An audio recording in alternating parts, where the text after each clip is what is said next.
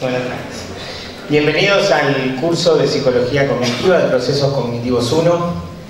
La verdad que es impactante ver tanta gente acá este, para la conferencia inaugural. Estamos todo el equipo de Cognitiva doblemente contentos, no solo por tener el aula llena, eh, que siempre es una alegría, sino también por contar hoy con la presencia de Diego Golombek. Eh, yo preparé varias cosas para contarles de Diego. Este, voy a tratar de resumir un poco porque si no, no nos va a dar tiempo para escucharlo a él, que es la idea. Pero me parece que es importante que sepan que Diego, además de, de ser un investigador famoso, eh, es también un gran divulgador de la ciencia.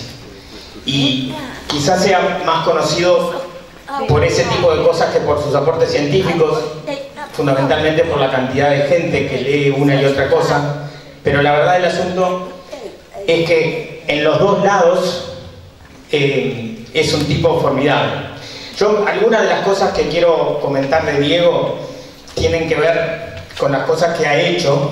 Por ejemplo, eh, ha conducido varios programas de, de, televisión, como algunos se han pasado acá, como Proyecto G, Desde la Ciencia, El Cerebro y Yo. Dirige la colección científica, la colección Ciencia que Ladra, que es una colección de libros que les recomiendo, valen la pena prácticamente todos, tienen que ver con científicos que quieren sacar la cabeza del laboratorio. Tiene un montón de premios, eh, entre los últimos que he visto eh, le dieron el premio UNESCO Kalinga de divulgación científica, que es un premio muy importante. Pero la verdad del asunto es que él mismo dice que no se imagina haciendo ciencia sin contarla, como tampoco comuni comunicando ciencia sin hacerla. Y esas son las dos facetas que lo acompañan siempre, incluso cuando uno habla de fútbol o del clima. Él siempre está como a caballo entre la ciencia y el querer enseñar algo, ¿no? el querer contar algo. Es claramente un, un docente, ¿no? en, todos su, en toda la dimensión de la palabra. Esto encierra varios problemas para nosotros. Yo quiero compartir con ustedes dos preocupaciones que hemos tenido estos días al preparar la venida de Diego. Eh, una que ya me lo habían advertido algunos amigos, tiene que ver con que corremos el gran riesgo los docentes del curso de que ustedes, a partir de la charla de Diego, esperen que nuestro curso sea eh, la mitad de divertido y de interesante que la charla de Diego. Desde ya que los que piensan que eso va a ser así este, están equivocados, es prácticamente imposible eh, no solo ser eh, la mitad interesante que lo que es Diego contando cosas, sino la mitad de divertido. Y eso lo van a, ver ahora a continuación. El, otro tema que nos interesaba plantear con la visita de Diego es que Diego es un personaje de estos que uno a veces no valora muy bien porque lo tiene cerca, ¿no? Y, eso nos pasa mucho este, en Uruguay, ¿no? Que, que no valoramos lo que tenemos cerca porque nos da la sensación de que si está cerca no debe ser tan importante o tan grande. Déjenme eh, contarles que en este mismo momento, en Uruguay, pero seguramente también en otros países, habría, hay muchas instituciones estarían dispuestas no solo a pagar mucho dinero por estar escuchando a Diego, no, una, no dos veces como lo vamos a escuchar nosotros, porque Diego ahora después a las cuatro y media va a dar una charla en el Paraninfo de la universidad, sino tan solo una vez.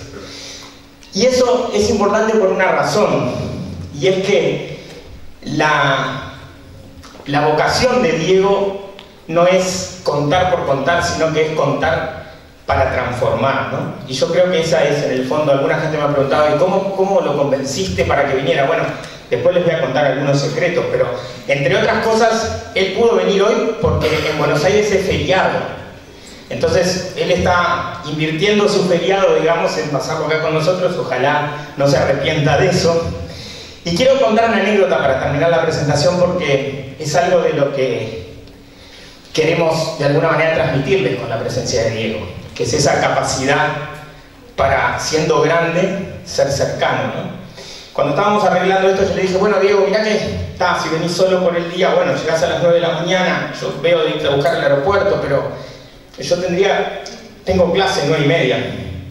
pero todavía arreglar. Por eso la gente de las nueve y media, no sé si alguien estuvo en este salón, estuvieron con el resto de, de los profes del equipo. Y Diego me contesta, no, Ale, no te preocupes, yo me voy en el COP. Después me di cuenta, después de leer el mail varias veces, que era el COPSA. Y él realmente pretendía venirse en el COPSA, llegando a las 9 de la mañana, dando dos charlas y volviéndose a Buenos Aires hoy a las 6 de la tarde, como va a pasar. Por suerte no lo dejamos, este, no, no porque no se pudiera tomar un COPSA, pero sí porque pudimos aprovechar más tiempo con él, básicamente. Y yo creo que esto es, parte de lo que es Diego, ¿no? Esta capacidad de ser un grande y a la vez estar cerca de los otros, de los que espero considere de alguna manera sus amigos, y poder así influir en la gente, ¿no? Influir con lo que él sabe, porque en el fondo él sabe que el conocimiento es algo muy preciado como para dejarlo encerrado en la cabeza de algunos pocos. Y creo que es de eso que nos va a hablar hoy, de qué tenemos en la cabeza. Diego, muchísimas gracias por venir.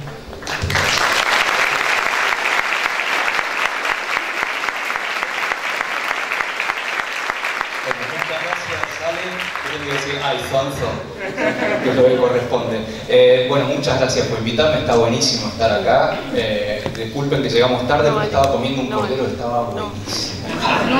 Se lo dije. Este, todos ustedes quieren ser psicólogos. ¿Qué los parió? Es parecido a nuestro país. Así estamos, ¿no? Dice un biólogo ya para que me odien.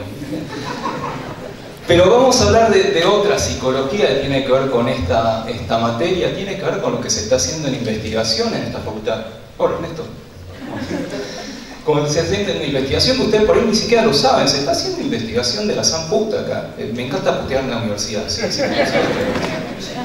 Eh, se está haciendo investigación muy grosa, no desde hace mucho tiempo, y ahí somos un poco paralelos en las dos orillas. También en Argentina, no en Argentina, en Buenos Aires, psicología es eminentemente clínica, y dentro de clínica algunas escuelas, particularmente psicoanálisis, lo cual no tiene nada de malo, pero casi no ha dejado lugar para la psicología experimental, para tratar de entender qué hacemos, por qué lo hacemos, cómo somos. Y de eso se trata esta materia, se trata lo que hacen sus profesores y ojalá muchos de ustedes quieran volcarse no solo hacia la clínica, sino también a tratar de entenderlos, a tratar de hacer investigación. Entonces, tratar de un poco contar algunas cuestiones de los que trabajamos en investigación con el cerebro y tratar de empezar a fascinarlos si no se fascinan con esto, estamos perdidos, básicamente no se fascinan con tratar de entender al cerebro.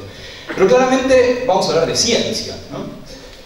Y, en mi experiencia, cuando vos presentás una charla que se llama La ciencia de o Ciencia y o lo que fuera, en la mayoría de los auditorios, tal vez incluso en este, inmediatamente se genera una reacción. ¿no? Y la ciencia es muy clarividente y puede meterse en la cabeza de todos ustedes y saber en general qué están pensando si hay una charla que empieza con ciencia. Y son dos palabras, ¿qué embole? ¿Verdad? No mientan. ¿sí?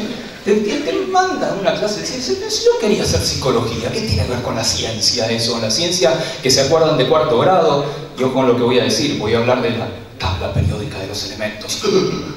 Eso es la ciencia que uno se acuerda, y no la ciencia de tratar de entendernos, de hacer experimentos con nosotros mismos, incluso con la gente que nos rodea, para entender qué es lo que hacemos. Y como vamos a hablar de ciencia, sí o sí tenemos que empezar con experimentos. Si funciona, funciona así. Les propongo un primer experimento para demostrar alguno de los poderes de la ciencia y de la psicología. Y este experimento se trata de juntar los dedos, así. Mira acá. Miren que los veo a todos desde acá. ¿eh? ¿Podés dejar la cámara y me quedo quieto, me quedo quieto. No te creo. Mire, esto, esto ya de por sí es un experimento. Si algunos han puesto el, pulgar izquierdo arriba y otros el pulgar derecho, eso es innato, si eso es genético. Pero ese no es el experimento que les quiero contar. Ahora, levanten los dos dedos índices, más o menos a la altura de los ojos, ¿sí? más o menos como los tengo yo. Los tienen que tener flojitos, ¿sí? no, no muy duros, porque si no, no funcionan. Más o menos relajados. Y ahora sigan así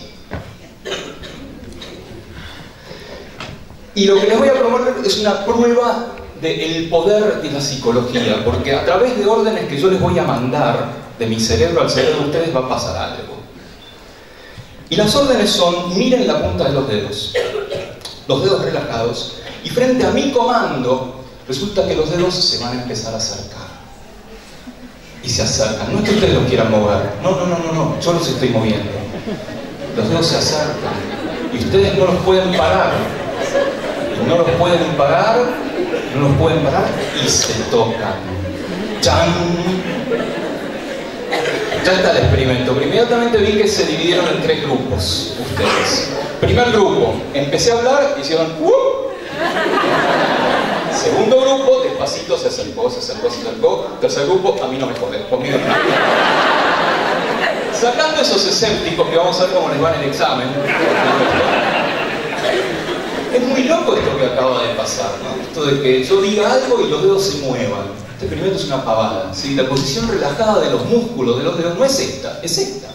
Por lo tanto, si ustedes realmente se relajan, los dedos van a empezar a mover solos. Y con esto pueden ser el alma de la fiesta, ¿sí? así que ya se llevan una, pequeña tarea. Pero básicamente lo que acabamos de hacer es un poco lo que yo les quiero contar, que se resume perfectamente en esto. ¡Chan!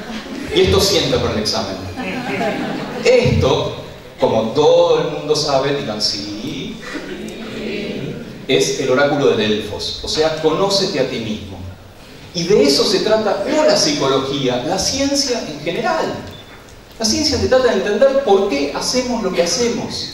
La psicología en particular, pues se trata de nuestro comportamiento, de nuestras motivaciones, de lo que somos en el fondo. ¿Eso no es maravilloso tratar de entender por qué decidimos algo, por qué algo nos emociona, por qué recordamos algo?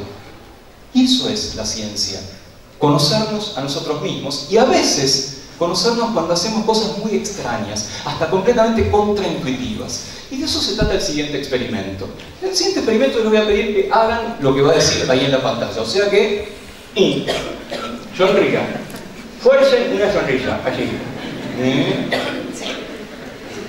¿Y? Quedan un poco serios ustedes. Miren que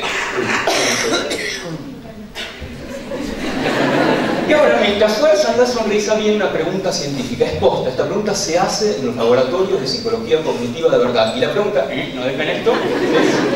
Es esa.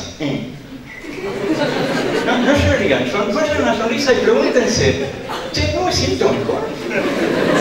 Si hagan el experimento control. Control, sonrisa. Cuando sonríen, ¿no hay algo en el cerebro de ustedes que dice, este se está sintiendo bien? Miéntanme, digan, sí, oh, sí, es maravilloso, sí, la vida me sonríe. Posta, es así. ¿No es muy loco eso que por forzar una sonrisa tu cerebro te diga que se siente bien? Vamos a complicar el experimento, en un ratito lo vamos a tratar de explicar. Vamos a complicarlo en lugar de hacer sonrisa completa, vamos a hacer señas de truco que supongo que son universales. O sea, sonrisa izquierda o sonrisa derecha. Eh. Uy, se fue el grano, ¿sí? Oh, eh.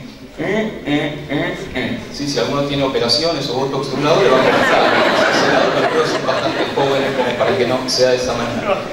Y acá tengo dos preguntas para ustedes, pero no para que las piensen, para que las sientan. Primera pregunta es fácil. ¿Alguna de las dos semisonrisas, esta o esta, se sienten también con esta? Hágala, ¿eh? ¿eh? Contra, ¿eh? Esa es fácil. Esta es más difícil.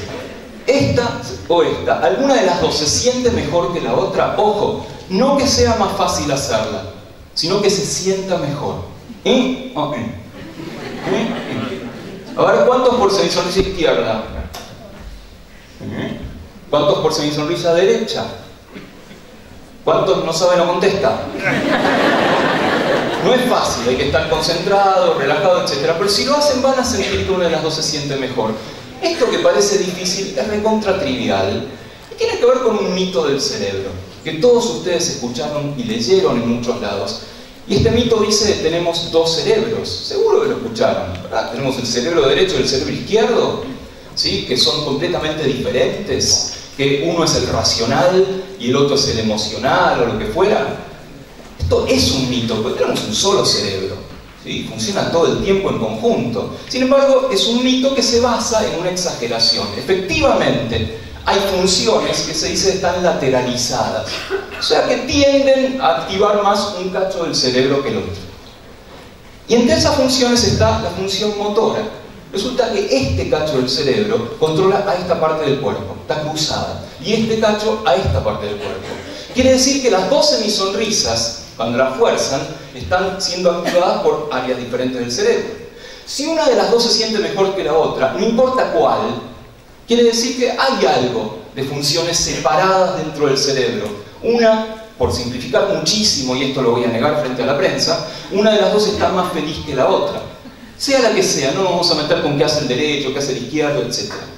Eso es bastante trivial. Y de hecho esto ustedes lo pueden demostrar con un experimento mucho más casero, que es agarrar a alguien y sacarle una foto sonriendo. Por ejemplo, esta. Y ustedes tienen que decir, ah, porque es mi hijo. Vamos. Efectivamente, agarran y le sacan una foto a alguien sonriendo y después la parten al medio esa foto, ¿sí? La agarran y la parten al medio. La pueden, si la tienen en papel, la parten con una tijera, hacen una fotocopia o lo que fuera, o la ponen en Photoshop y la parten al medio. Y a partir de cada mitad generan una cara completa. O sea, van a tener una cara formada por dos semicaras derechas o por dos semicaras izquierdas. ¿Se entiende cómo es el experimento? El resultado es este. ¡Tarán! Son dos personas distintas, ¿verdad? Este está chocho, ¿sí? Este es la ciencia. Este es, pa, no me use para los experimentos. Esta es la prueba justamente de lo mismo que ustedes hicieron en sí mismos cuando forzaron la sonrisa. Efectivamente, hay partes del cuerpo diferentes que responden a partes diferentes del cerebro. Yo les dije, esta parte era trivial, este experimento. La que no es trivial es la de forzar una sonrisa y sentirse bien. ¿Por qué no es trivial? Porque es contraintuitiva. Uno piensa, y está bien que piense así, que se emociona y luego actúa. Uno piensa que está contento y luego sonríe. Uno piensa tiene miedo y luego sale corriendo. Y ustedes tratan de demostrar con este experimento tan vago que es exactamente al revés. Uno primero actúa, primero viene el cuerpo y después viene la emoción. Primero forzás la, la sonrisa y después tú estás contento. Primero salís corriendo y en ese salir corriendo, que te lata fuerte el corazón, que respires más rápido, está el miedo. Esto es una base de la psicología, de hecho, del fundador de la psicología experimental, un tipo llamado William James, ustedes lo deben conocer, y si no lo conocen lo van a conocer a lo largo de la carrera y sobre todo en este tipo de materias, un capo, absolutamente un capo, que tuvo este tipo de intuiciones, no las, no las demostró experimentalmente, pero resulta que muchas de las intuiciones de este tipo James, hoy en día la neurociencia está demostrándolas. Por ejemplo esta, de que el cuerpo participe en las emociones. O sea, parece como tirado de los pelos, ¿cómo que el cuerpo es la emoción? Y sí, ¿dónde sienten el miedo ustedes? Pónganse que ahora hay un ruido tremendo y se asustan. ¿Dónde lo sienten? En la panza, en general, en la panza, en el pecho, en el abdomen. O lo mismo las famosas mariposas en la panza de los enamorados, mariposas en la panza, adrenalina.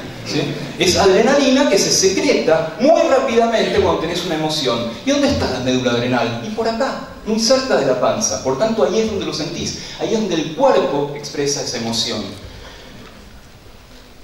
Pero en realidad, si tenemos que elegir una parte del cuerpo que tenga que ver con la psicología y obviamente una neurociencia, no es cualquier parte, sino que es lo que tenemos en la cabeza, lo que da título a esta, a esta charla que, que estamos haciendo. Tenemos acá, y acá saben que tenemos números astronómicos, unos números que son comparables a los de los astrónomos, a los de los geólogos. Ahí es donde los biólogos, los neurocientíficos, los psicólogos tenemos big data. ¿Por qué? Porque tenemos ceros para tirar al techo. Tenemos miles de millones de unidades de neuronas. No solo eso, tenemos varios órdenes de magnitud más de charlas entre neuronas, de las conversaciones entre las neuronas. No solo eso, esas conversaciones no son fijas, cambian y cambian todo el tiempo. Por el solo hecho de yo estar hablando con ustedes, me están cambiando las charlas entre las neuronas por unidad de tiempo, por segundo, por milisegundo, y a ustedes también. Más allá de que les guste o que no, que les estén pasando bien o no, les está cambiando el cerebro. Es más, hay una analogía, que también es un neuromito, que dice que el cerebro funciona como una computadora. No, no es así, de ninguna manera. Es otra cosa, no, les diría que es más ni menos, es otra cosa. En el cerebro no hay software y hardware, es lo mismo. Esto parece una, una consigna de, de, partido de izquierda en la plaza, ¿no? Porque el hardware y el software es lo mismo, compañero. Y es cierto, así funciona el cerebro, diferente a cualquier otra cosa que conozcamos en el universo. Es el objeto más complejo por ahora del universo conocido. No es poco eso. Claro, tratar de entenderlo es una tarea complicada. Hay gente que dice que nunca lo vamos a entender. O que algunas de las funciones del cerebro nunca las vamos a entender. Esto hasta tiene un nombre propio en psicología en psicología experimental. Si es un nombre muy original, muy poético, muy complejo, lo, lo llaman el problema difícil. El problema difícil es cómo entender las funciones superiores del cerebro, cómo entender un cerebro que se piensa a sí mismo, cómo entender la conciencia. La mayoría de los que trabajamos en esto no creemos en el problema difícil, creemos que es cuestión de tiempo, de saber más, de tener mejores herramientas pero que es complejo no cabe duda. Y lo más loco de todo es que todo eso esté ahí adentro. Esté acá, adentro de nuestra cabeza. Había una película de hace muchos años que se llamaba Hombre mirando al sudeste, quizá alguno de ustedes la vio. Hay una escena en la cual el protagonista, un tipo muy particular, está en un hospital psiquiátrico donde están guardados cerebros disecados, y los está desgranando, los está agarrando con la mano, y son cerebros de verdad, cerebros de por así llamarlo, está desgranando en la canilla y está diciendo, mira vos, acá estaba este tipo, acá estaban sus emociones, sus recuerdos, su historia, todo eso en esto, arrugado, gris, feo. Y sí, eso somos nosotros, arrugados, grises, feos. Y hablemos un poquito sobre la forma, el peso, el volumen de esto. ¿Cuánto les parece que pesa el cerebro humano adulto en promedio? Apuesten. ¿Quién da más? ¿Quién da menos? ¿Cuánto pesa el cerebro adulto en promedio? Kilo, kilo 100, kilo 200. Elegí. En promedio, por eso, en promedio. ¿Alguien da más? ¿Alguien da menos? Tres, tres. Tres kilos. Vamos, vamos y vendemos. Un kilo. ¿Alguien da más o menos o nos quedamos con eso? ¡Cinco kilos! ¡Vamos! Bueno, les voy a decir. En promedio, el cerebro humano pesa más o menos, gramo más, gramo menos, un kilo 300, un kilo 350. O sea, se acercaron bastante, ¿sí? Pero ustedes sienten un kilo y pico arriba del cuello, andan así. No, ¿verdad? ¿Por qué? No puede ser que tengas una pesa de un kilo acá sostenida por el cuello y no la sientas. ¿Cómo puede ser? ¿Alguna hipótesis? ¿Por qué? Tenemos toda una estructura para Pero aún así tendrías que sentirla, eso puede ayudarte a llevarla. Pero vos no la sentís. Yo no siento el peso de ninguna parte de mi cuerpo. Pero te pones una, una, pesa de un peso acá y no te acostumbras. No es que al cabo de un día decís, ya me olvidé y andás sin ningún problema. Puedes hacer equilibrio, pero la vas a estar sintiendo. De hecho, subjetivamente sentís bastante menos. Si se calcula que subjetivamente sentís unos 400 gramos sobre el cuello. ¿Cómo puede ser que pasaste de un kilo 300 a 400 gramos? ¿Hipótesis? El cerebro te dice que, que sientas menos. No. no es una mala hipótesis, ¿sí? Pero no lo hace con otras partes del cuerpo, es raro. ¿Hipótesis? Porque en realidad el cerebro va creciendo mientras que vos vas creciendo. Entonces ves que de nada sentís que te pusieron un kilo y tanto la cabeza, que ya lo vas sintiendo a poco y vas... No es mala, no es mala esa hipótesis, pero está mal. O sea, esto es lo que yo te digo, vos no te adaptas, adaptas una palabra técnica. Si te pongo una pesa, la vas a seguir sintiendo bastante tiempo. Es cierto que no tanto tiempo como toda tu vida, porque el cerebro lo llevaste contigo toda tu vida. Pero no, no es esa la explicación física, por así decirlo. Después estás diciendo una explicación más psicológica o subjetiva. El cerebro no tiene terminaciones nerviosas, ¿no? Eh, a ver, eh, repito, el cerebro no tiene terminaciones nerviosas todo lo contrario, el cerebro son todas neuronas. Lo que no tiene son algunas cosas, por ejemplo, no tiene receptores de dolor dentro del cerebro, pero no es lo mismo que no tener terminaciones nerviosas. Es sencillo, el cerebro, ¿cómo está arriba del cuello? ¿Está ahí? ¿Está ahí quieto, en el aire, apoyado? Está flotando, está flotando en agua, algo muy parecido a agua. ¿Y qué sucede con todo líquido, todo cuerpo sumergido en un líquido, alumnos? No, no, ¿Sí? Experimento un empuje de abajo hacia arriba, igual. Igual al peso del volumen líquido, desalojado. Principio de Arquímedes. Lo empuja para arriba. Entonces sentís que pesa menos. Subjetivamente sentís que pesa menos el conjunto cerebro más agua. Ese kilo 300. Es el peso del cerebro de un hombre o de una mujer en promedio. Chan. ¿Es lo mismo? ¿No es lo mismo? Lo mismo, es lo mismo. No, depende de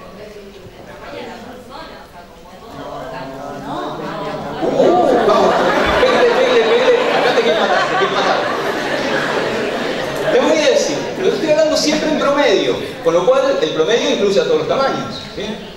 El, el, el, kilo 300, kilo 350 es el peso promedio del cerebro de un hombre y el de la mujer a ver, ¿cuántas piensan que pesa más?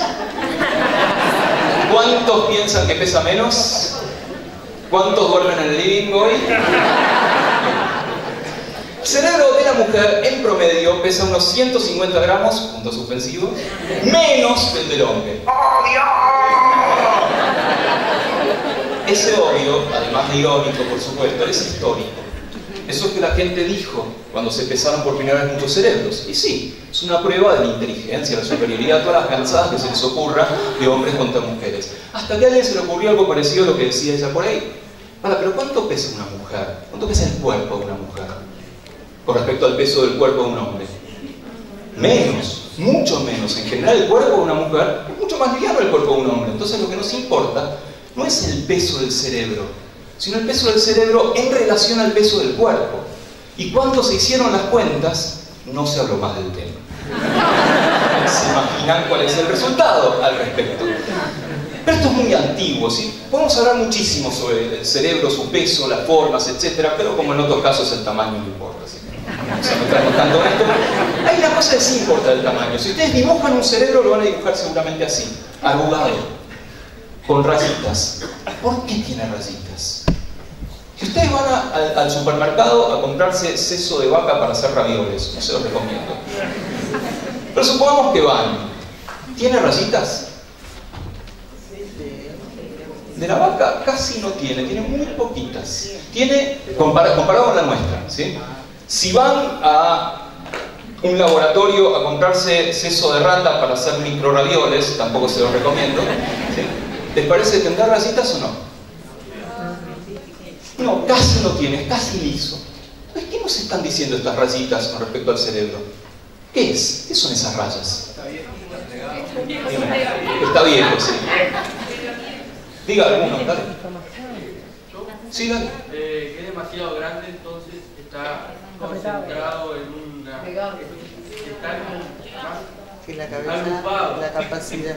Va, va por ahí. O sea, podía haber seguido creciendo. ¿Por qué no es como un globo que sigue creciendo más cada vez más? Porque tiene algo duro acá. Tiene hueso, tiene un cráneo acá. Y la estrategia de crecimiento fue hacer rulitos. Esos rulitos se llaman circunvoluciones, por supuesto. Es la estrategia de crecimiento de todo el cuerpo. Nuestro tubo digestivo, si fuera un tubo, si fuera una cañería lisa, no nos sirve para nada. Porque no alcanza la superficie de ese tubo para absorber todos los nutrientes que necesitamos. ¿Qué hace ese tubo? Genera rulitos. ¿Eh? Rulitos se llaman vellosidades. No contento con eso, las vellosidades generan microrulitos, o sea, microvellosidades. Y con eso aumentan el tamaño efectivo del tubo digestivo 300 veces. Las circunvoluciones aumentan la superficie de la parte de afuera del cerebro, la corteza, la, sería la cáscara de una mandarina, eso es la corteza. En promedio, más o menos ese es el volumen que, ocupa un poquito más por ahí. Aumenta unas 50 veces la superficie efectiva de la corteza, de la parte de más afuera. Y evolutivamente tener más corteza, por razones que van a ver a lo largo de este curso, es particularmente importante. ¿sí? Pero esto se sabe desde hace mucho tiempo, que el cerebro tiene que ver con nosotros. ¿sí? De hecho se sabe desde antiguísimos, antiquísimos perdón, papiros, uno de los cuales está nada menos que en Asterix y Cleopatra. Y que si no lo oyeron es bibliografía obligatoria para este curso. ¿sí? Asterix y Cleopatra aparece este papiro. ¿sí? No, película, no, ¿qué película? Asterix hablando en gallego. Aparece este papiro, este papiro se llama el papiro Evers, un papiro farmacológico, donde te presentan casos, como un vademecum en cierta forma, casos y cómo tratarlos. Y en este caso, vos sos el médico, ¿sí? y se te presenta un caso donde se te viene un egipcio con un agujero en el cráneo, y vos podés meter el dedo, el dedo sale, lo sacás y está verde y huele espantosamente mal. ¿Cuál es el tratamiento para esa persona? Mirarlo a los ojos y decir, no te puedo tratar. Me parece muy sabio por parte de los egipcios. Lo que ustedes ya todos se dieron cuenta, no tendría por, ni siquiera por qué decirlo, es que ahí claramente dice cerebro, ¿verdad?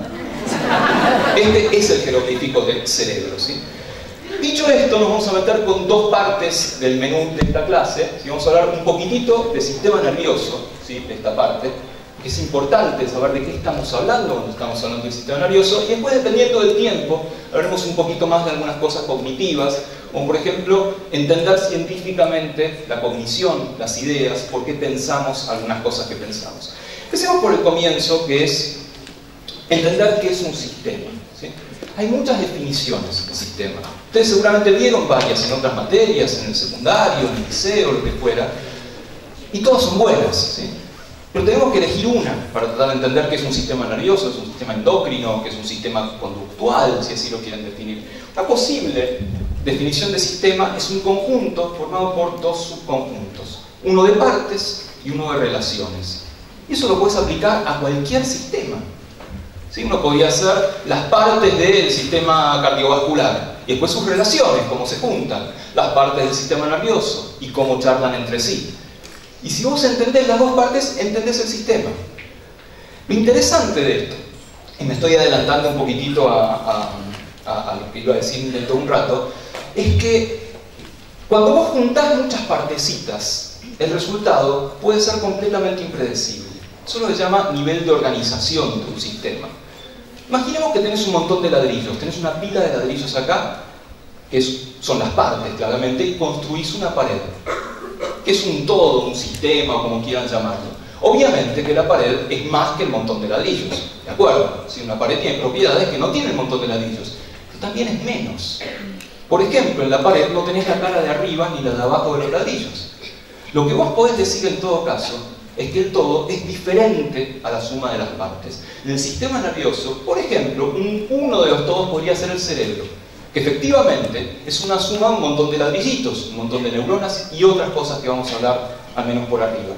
No es que sea solamente más, es distinto, tiene propiedades diferentes que no se dan simplemente por juntar millones de neuronas.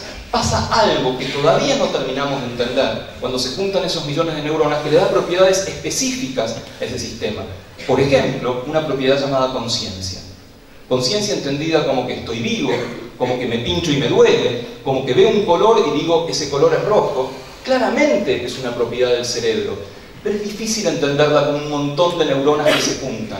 Así como es difícil entender a una persona como una coctelera donde pongo un montón de células, agito un poco, ñaca, ñaca, ñaca y sale un dieguito. Es raro pensarlo de esa manera, porque hay propiedades que van más allá de juntar cosas. Pero si nuestra definición de sistema es partes y relaciones, hablemos, empecemos a hablar por las partes. Y las partes más conocidas del sistema nervioso son las partes celulares, o sea, las neuronas. En Argentina había durante muchísimo tiempo una revista infantil, sé que llegaba aquí también, por tal vez no sea tan conocida, que es la Villiquen, ¿sí? una revista muy, conocida, cerró hace un tiempo. ¿sí? Este, yo gran orgullo en mi biografía, que Ale no lo mencionó, pero yo colaboré tanto con Villiquen como con Anteojito a, lo largo de, a lo largo de mi vida. ¿sí? Y en Villiquen, o en cualquier revista equivalente, está la famosa neurona de Villiquen, que es esta. Ay, perdón. Uh, se fue el. No la puedo ver, ¿sí? pero no importa. Eh, eh, debe ser un problema entre, entre, Mac, PC y esas cosas, pero no importa, les cuento de qué se trata. O, puedo dibujar, no, no puedo dibujar.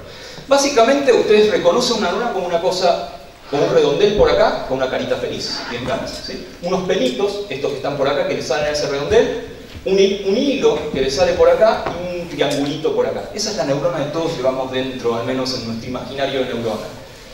Está buena para entender muy a grandes rasgos qué hace una neurona, qué partes tiene y lo que fuera, pero como escala es una porquería.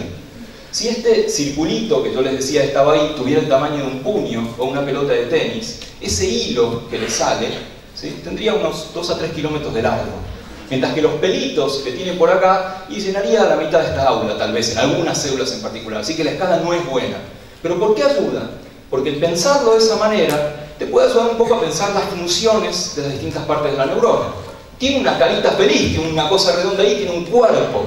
Pero como somos fashion lo llamamos soma, ¿viste? Hablamos en griego. Entonces tiene un soma que procesa cosas, claramente eso es lo que hace el cuerpo.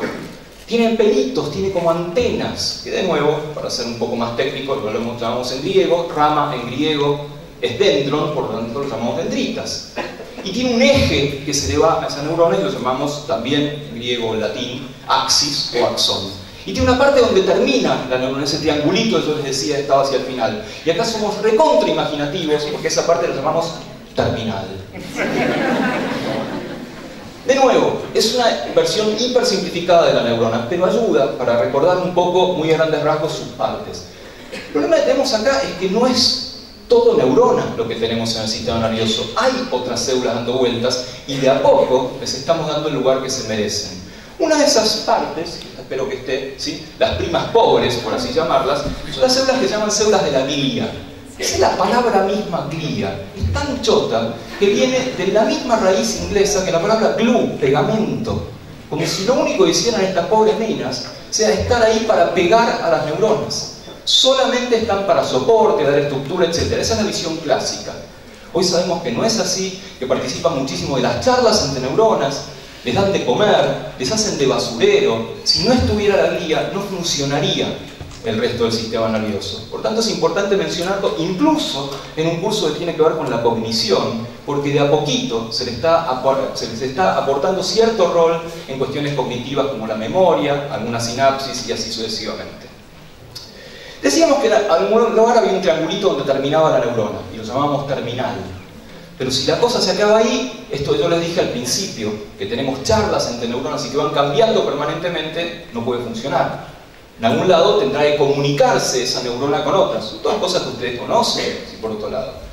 Y esa comunicación, en general, como hay un espacio en el medio de las dos neuronas, se da con una palabra. Una palabra que una neurona le escupe a la otra y la otra tiene que reconocer.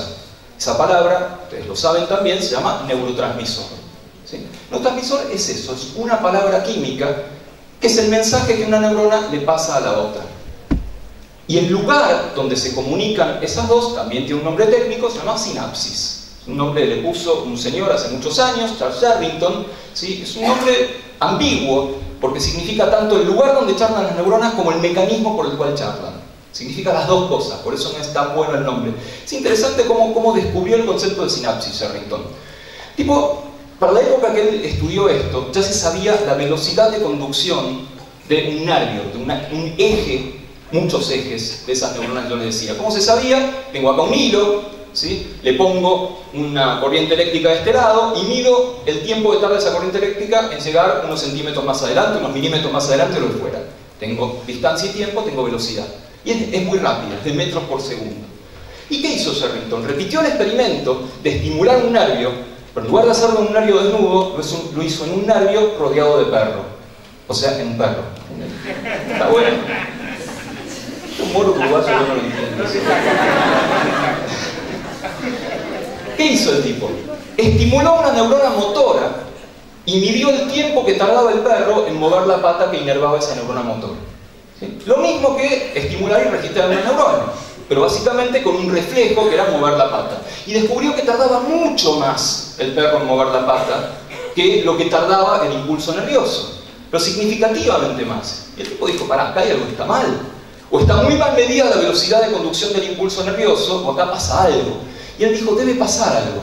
Debe ser que entre el lugar donde yo estimulo y que el perro mueva la pata, hay algo hay un retraso. ¿Por qué hay un retraso? Porque no es la misma neurona que llega desde acá hasta la pata, debe haber más de una neurona.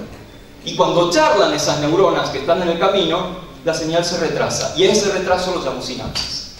Y ese retraso es el que se cubre con esta palabra química llamada neurotransmisor. Y es importantísimo eso. Si nosotros queremos entender la charla entre neuronas, tenemos que entender al neurotransmisor. Tenemos que hacer una biografía no autorizada del neurotransmisor para entender exactamente cómo funciona. Eso es fundamental para lo que vamos a ver dentro de un ratito en términos psicológicos también. ¿Y qué hace un neurotransmisor? Primero, hay que fabricarlo, hay que sintetizarlo. Lo fabrica una neurona. A veces lo fabrica de cero y a veces comemos los ingredientes que necesitamos. Por ejemplo, un neurotransmisor llamado acetilcolina, tenemos que comer la colina para fabricar acetilcolina. Otros lo transformamos unos en otros.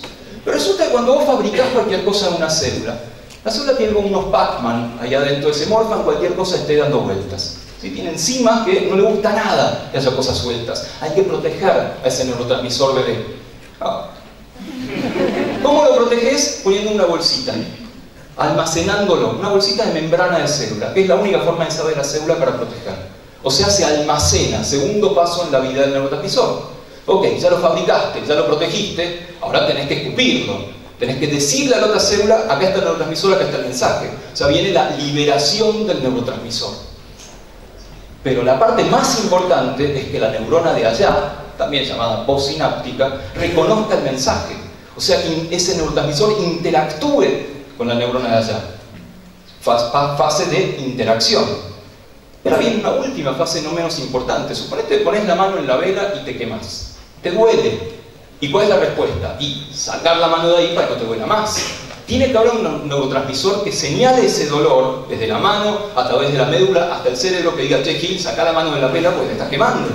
Pero cuando sacas la mano de la vela, ese neurotransmisor no tiene que estar más, si no, no sirve para nada. Si yo saco la mano de la vela y el neurotransmisor sigue estando y estando y estando, ¿y para qué me sirvió sacar la mano? Por lo tanto, tiene que haber una fase de romper al neurotransmisor, terminar su acción.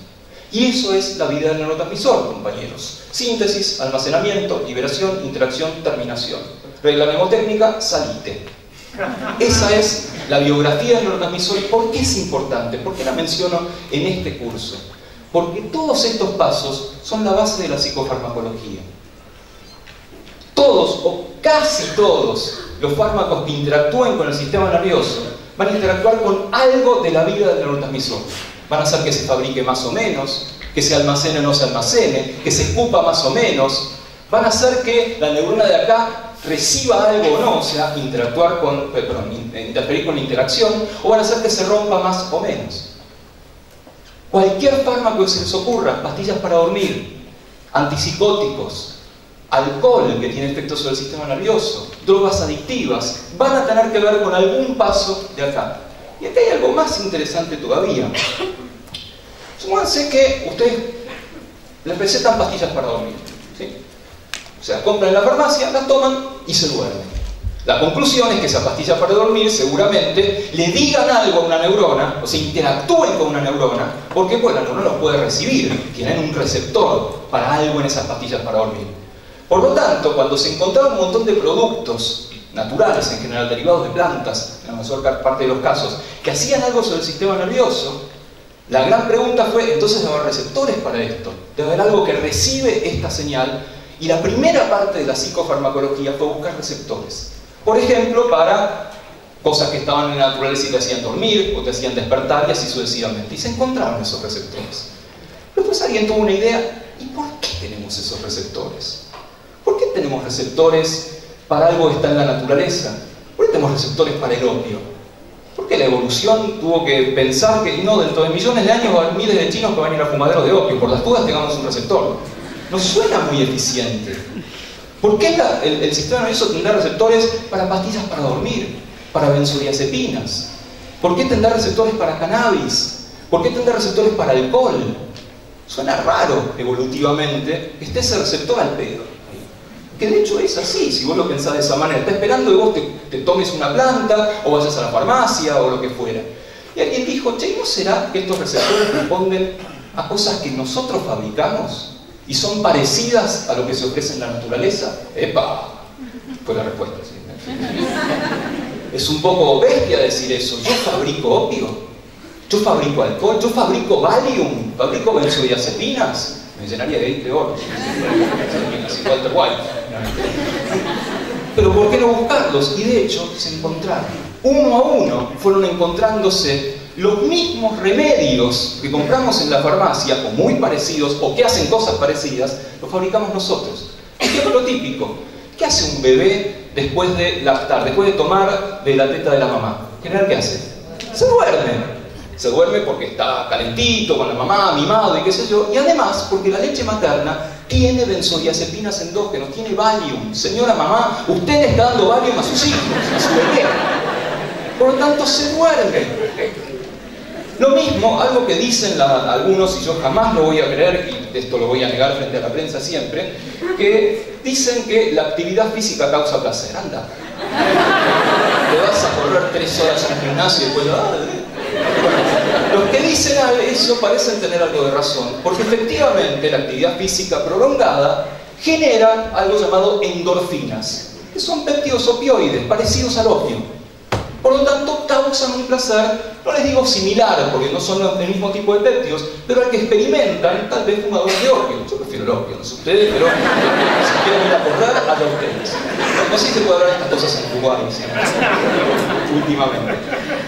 Pero es fascinante pensar en algo con lo que ustedes van a tener que vivir como psicólogos clínicos o experimentales. Si son clínicos, no sé cómo es la ley acá, seguramente no van a poder recetar, pero van a tener pacientes que van a estar tratados con fármacos para dormir, ¿sí? fármacos para calmarse o por, el contrario, para despertarse o lo que fuera. Tienen que saber qué cuernos están haciendo esos fármacos en el cerebro. Si no, algo están haciendo mal. Y si van a ser psicólogos experimentales, seguramente también se crucen con alguno de estos fármacos dentro de sus experimentos, con animales, con humanos, con pacientes y así sucesivamente. Y esta historia, primero el producto natural, después el receptor, después el producto endógeno, que hace algo parecido al producto natural, es la historia de la farmacología, en particular de la psicofarmacología. Volvamos un poco a los sistemas. Hemos dicho esto, los sistemas como un subconjunto de partes y relaciones, pero nos falta algo. ¿sí? Fíjense, si dijimos que era un conjunto, tiene algo que dice, ahí estoy adentro, acá estoy afuera de ese conjunto. Nos falta justamente lo que nos diferencie sistema de no sistema. Una barrera, una membrana, una frontera, una puerta que diga, ahora entré, ahora no entré. Y de hecho existe esa puerta y tiene un poco que ver, me adelanto un poco para, ganar tiempo, con la clasificación del sistema nervioso. Si ustedes tuvieran que clasificar el sistema nervioso en partes, no me digan qué partes, pero qué criterios usarían para decir, de acuerdo a este criterio, clasifico el sistema nervioso en esto y esto, de acuerdo a este otro criterio, en esto, esto, o esto, esto y esto, lo que fuera. ¿Se entiende la pregunta? ¿Con qué criterios clasifican el sistema nervioso? ¿Qué les parece? Eso, no es el criterio, acá eh, repito, ya dijo central y periférico, está bien, pero eso no es el criterio, esa ya es la clasificación. Esa clasificación, ¿a qué criterio corresponde? ¿Perdón? Central y periférico justo no, corresponde a funciones. Función sería un criterio de clasificación. De acuerdo a ahora volvemos. De acuerdo a función, ¿en qué podrían dividir el sistema nervioso? ¿En qué y qué? ¿O qué, qué y qué? Quiero, quiero clasificar el sistema nervioso de acuerdo a su función. Por lo tanto voy a tener mm, mm, mm. ¿Qué sería? Eh, la, ubicación en la que están. Ese es el criterio para ella, se ha formado una pareja. o sea, un criterio sería el geográfico, el de ubicación, ¿dónde está? Y ahí lo clasificamos, ahora volvemos, como central o periférico. ¿Y qué es? Quedémonos con este, por ahora volvemos. ¿Qué es central? ¿Cómo define el sistema nervioso central y cómo define el sistema nervioso periférico? Les dan un cacho de sistema nervioso y te dicen, che, ¿eh? ¿y es central o periférico? ¿Eh? ¿Eh? Por los órganos, el tipo de célula, las células son las mismas. La función que hacen. Los órganos más o menos, es difícil que vos puedas saber, y sí, esto es central o periférico. La función no tiene que ver con central o periférico. Sí, pero eso no me dice nada. La ubicación es el criterio que estoy usando. Ahora les pido que me definan qué es central y qué es periférico. ¿El central puede ser que comande? No. ¿No? Tampoco, es una clasificación de función. Estoy hablando de ubicación. Mucho más sencillo. Sistema nervioso central está rodeado de huesos. Por lo tanto, todo lo que esté adentro del cráneo o adentro de la columna vertebral es sistema nervioso central. Lo que se va de ahí, por ejemplo, si yo tengo que mover el dedo, seguro que hay algo central que da la orden, que viene por acá, baja por la médula espinal, y en algún momento se va de la médula espinal. Hay una neurona que sale de ahí esa neurona que sale de una prolongación periférica, se va de los huesos. Alguien había dicho por ahí, otra clasificación podría ser función. Y de acuerdo a esa clasificación, ¿en qué nos clasifica? Motora. Motora y sensorial, hay muchas formas de decirlo, podría ser lo que entra y lo que sale. ¿Sí? La información que entra es procesada de alguna manera, la información que sale, sensorial y motor, o como tengan ganas. No, no hay alguna clasificación más que se les ocurra, van bien esas. ¿Cuál otra? Esa es muy específica, ¿sí? no está mal, simpático y parasimpático, pero tiene que ver con otra un poquitito mayor a simpático y parasimpático. ¿Qué más podría ser? ¿Qué les parece? Cognitivo y emocional. No, cognitivo y emocional sería el, mismo militante del PO que te tendría que decir, son lo mismo, compañero. que, lo, es lo que demostramos con la, forzar la sonrisa, por el control que tengamos. Control que sea, por ejemplo, consciente o inconsciente. O voluntario o involuntario. O en términos más técnicos, somático, al que tiene control consciente. Y autónomo, al que está fuera de la conciencia, control inconsciente. Simpático y parasimpático, en general, son sistemas que están dentro del control inconsciente. O sea, en un nivel un poquito más abajo. Y acá hay una reflexión pequeñísima, pero importante para hacer. ¿Cuál es Está mal la pregunta, pero ¿qué les parece es más importante? ¿El sistema nervioso consciente o el sistema nervioso inconsciente? En términos evolutivas. La, la pregunta no está del todo bien formulada, pero ¿qué les parece más importante, más relevante o algo? ¿Por qué? Varios dicen el inconsciente, porque son todos unos malditos estudiantes de psicología, ya lo sé. Pero olvídense de Freud y todas esas cosas, ¿sí? Acuérdense del Freud antes de ser Freud, el Freud que nos gusta, ¿sí? El del proyecto. ¿sí? Porque no sabe- Es más instintivo, digo, es la respuesta inmediata. Sí, pero eso, eso no, no es lo que te dé importancia. Cierto lo estás diciendo, hay una cosa, cuestión de velocidad, pero no, no te da importancia eso. El inconsciente no solo maneja las funciones vitales, sino que se encarga del instinto de supervivencia. Va un poco por ahí. Imaginemos patologías, ¿sí? para tratar de entenderlo. Imaginemos patologías del sistema nervioso somático, o sea, del consciente. Son muy chotas, por supuesto que sí. Perder un sentido, por ejemplo, perder la visión, o, perder una función motora, es horrible, no te morís. En cambio, si perdés una función inconsciente, autonómica, en general tenés más riesgos vitales. Es como si la evolución no hubiera confiado en nosotros. Hubiera dicho, estos giles se van a olvidar de respirar. Se van a olvidar de que el corazón tiene que latir más rápido si tienen que salir corriendo y más lento si están tranquilos. Lo sacó de la conciencia. Lo preservó de nosotros. No confió en nosotros la evolución. Y dejó lo más importante fuera de lo consciente. Por eso es importante el inconsciente, no por todas las otras materias que ustedes tienen en la carrera. Siempre es muy claro al respecto. ¿sí? Luego todo después vamos a hablar. Sí, también tiene una pequeña importancia. Pero lo que nos falta para hablar de esto de sistemas, yo les decía que tenía que haber algo que dijera estoy adentro o estoy afuera. ¿Mm? Estoy adentro o estoy afuera. Eso también es vital. El sistema nervioso central particularmente es tan importante que está recontra protegido del resto del mundo. De hecho, nosotros sufrimos un proceso de cefalización, o sea, se concentró el sistema nervioso en algún lado. Bichos mucho más simples, algunos invertebrados, lo tienen distribuidos por todos lados. En cambio, con la evolución se fue concentrando, se fue encefalizando. Entonces había que protegerlo, estás como muy expuesto. Si tenés todo junto, y es muy fácil darte un mazazo. O bien tomar alguna, cosa que sea venenosa y que llegue al cerebro y te da pelota. Por lo tanto, hay que protegerla. Y el concepto este es un concepto muy interesante, es un concepto, perdón, de barrera. Hay una barrera entre el sistema nervioso central y el resto del mundo. Es un concepto funcional. No es una estructura que tiene un cartelito que dice barrera. Es una función que protege al cerebro del resto del mundo.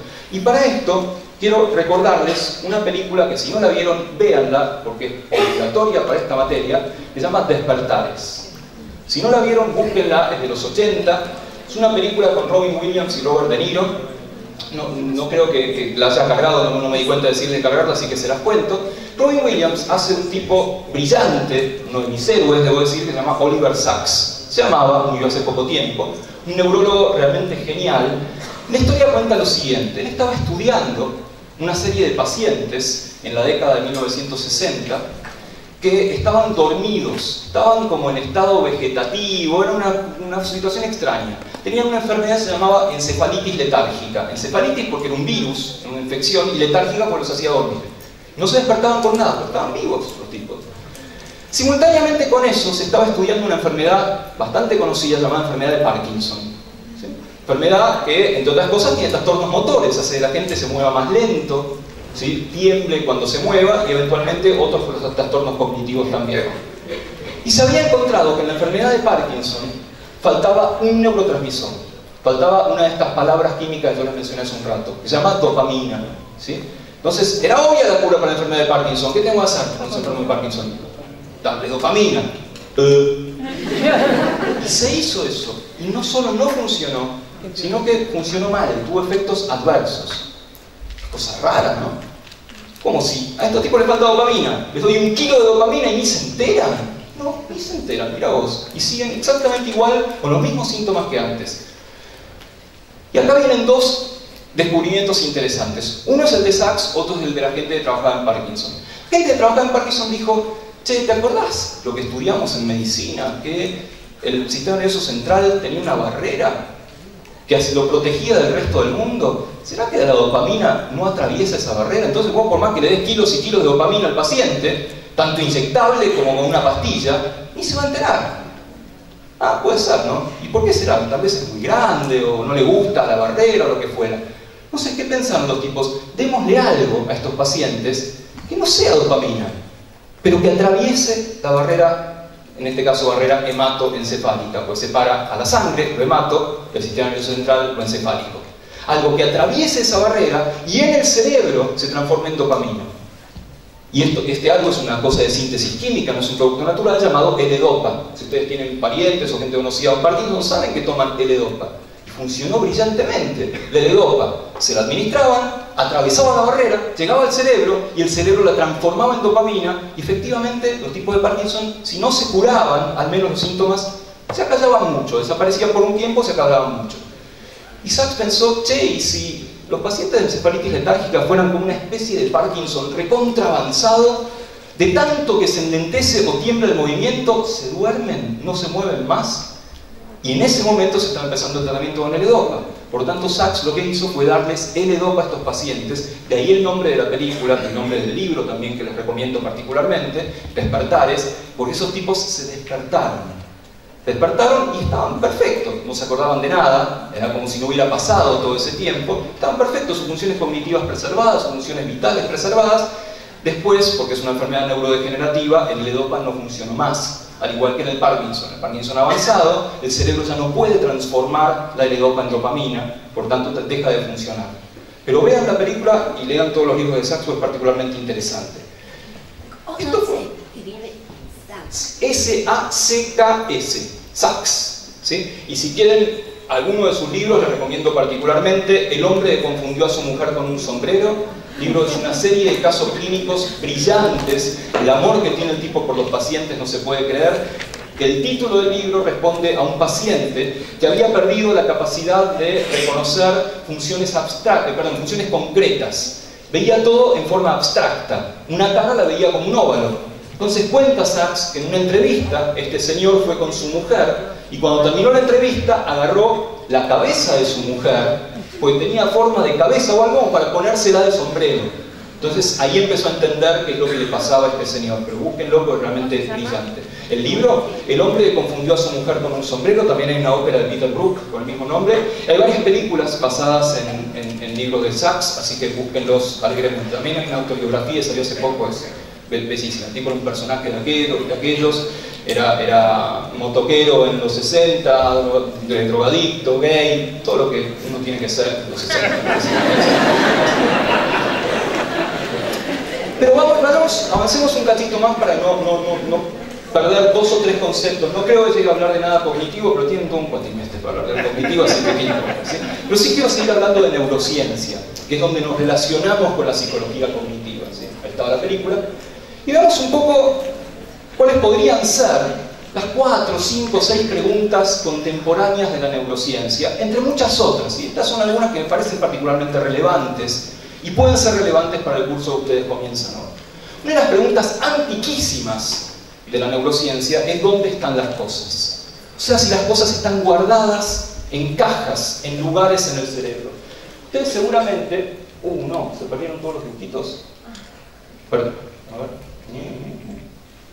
Sí, se perdían todos los dibujitos. Bueno, seguramente recuerden unas láminas que eran muy famosas hace unos años, que era una cabeza dividida en, partes, ¿sí? en cada parte había una cualidad, bondad, maldad, moral, violencia, etc.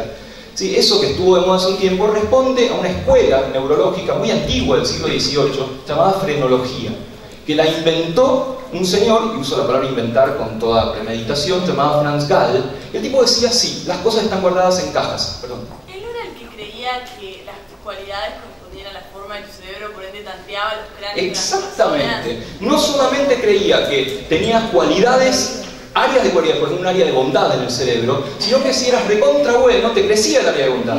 Si eras recontra, recontra bueno, te crecía tanto que te deformaba el cráneo y te salía un chichón de bondad.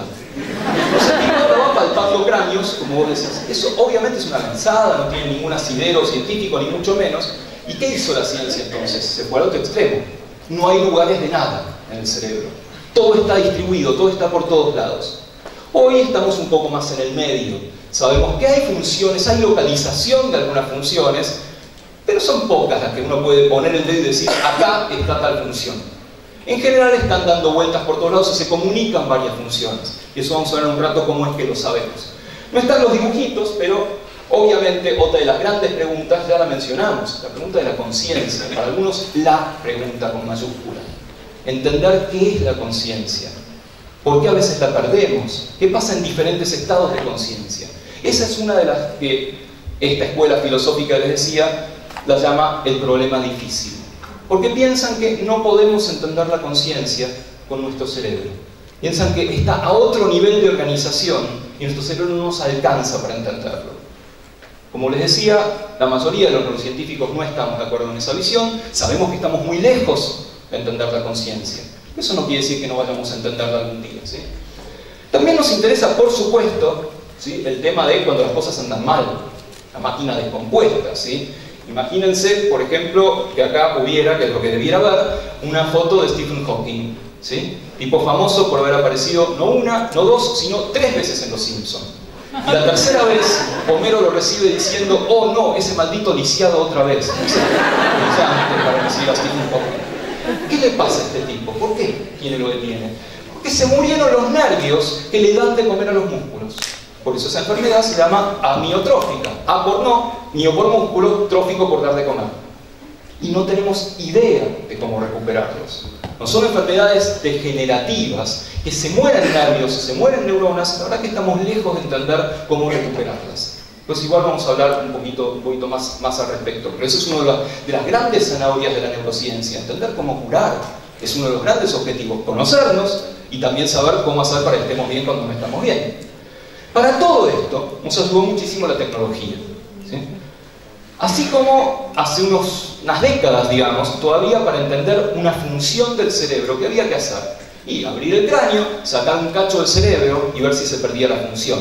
Bueno, sí, se perdía la función, pero también se perdía el paciente, o la rata, o el sujeto. No era una metodología muy rica, muy limpia para hacer. Hoy podemos ver el cerebro desde afuera.